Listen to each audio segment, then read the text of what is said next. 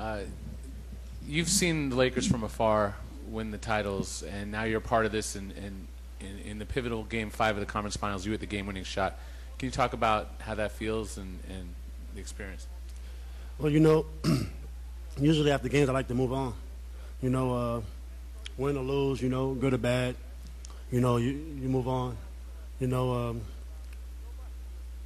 we know game six is going to be tough.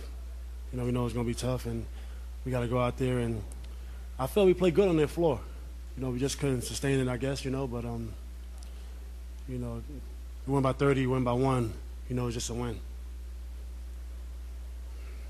Mike, Ron, is that safe to say it's the biggest shot of your career? Yeah, biggest layup.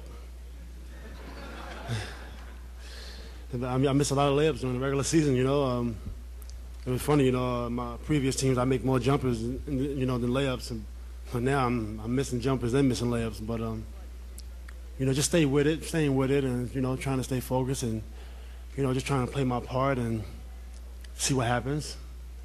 Futterman. Thank you.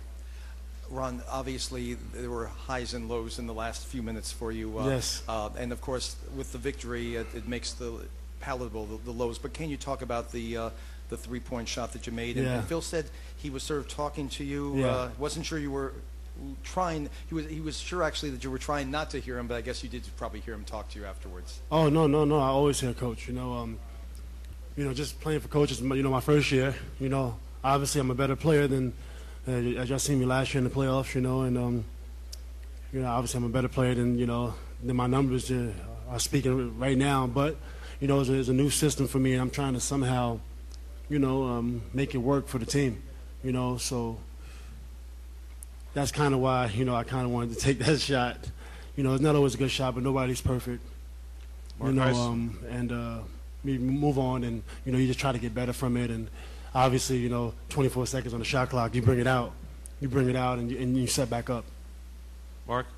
Ron, how did, how did you uh, um, happen to be where you were on Kobe's shot? You were in front of the basket. Is that just all there was available there? Well, um, I thought Kobe got fouled on the shot, so I just kind of figured it was going to be short.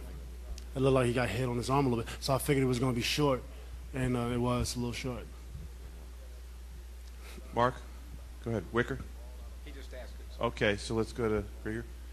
Could you just describe that last play unfold um, from when you get the ball, who you felt on you, or if you felt anyone near you, and putting it in and everyone hugging on you? Well, you know, uh, it was weird because I wasn't used. I'm not used to getting hit a lot.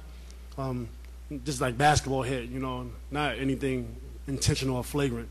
But these guys are they're tough and they're, and, and they're coming and they're attacking us. You know, they really they're really playing hard. So you know, you know, it was times where I get a rebound, but I might not get it because you know these guys are playing so hard. So I just thought I might just throw away, throw around my weight a little bit. You know, um, being one of the heaviest, you know, small forwards, you know, in NBA, in, in NBA outside LeBron. So you know, I gotta let my weight, let my weight work for me a little bit because these guys are, you know, these guys are tough. They, they just constantly, consistently, you know, just coming over our backs. He's just playing hard, trying to win. Last two, Jay. Ron, a lot of times when, especially Kobe was known to make those shots, you know, I think the tendency is to just freeze and watch. Right. Um, you know, especially with that little time left. Why did you run in, and how, how did you not get caught watching? Just gotta continue to play. You know, uh, I was kind of not playing my game from the beginning of the game, and it kind of carried over. So, in the second half, I was finding my way a little bit. I made some good passes and made some good steals and got some rebounds. So I guess, you know, that aggressive play can, you know, it carried over, you know, to that last possession. Last question, Bill. Yeah, Ron, when you were taking that three-pointer, the entire arena was shouting no, no, Yeah. no. Did you did you hear them? No, you know, during the game, you really not you're not supposed to hear them. But what, what was going? You was was it an impulsive thing? I mean, were you when the minute saw through the ball too? You knew it was you were, it was going up. Well, you know, when you're playing a game, you don't really hit a. You don't really. Is that like an earthquake or something? Wow. But you know, um, you know, during the game, you know, you don't really hear, you know, way, you don't really hear the fans, you know, you You know, that's why you see Kobe. He makes shots. He don't hear the fans. You know, um, on, on the road he made big shots. You don't hear he don't hear the fans. You know, screaming no or yes or please don't whatever. You know, you just try to focus on the game. And um, we was up three. I was hoping to go up six at that point. All right, thank you very much, Ron.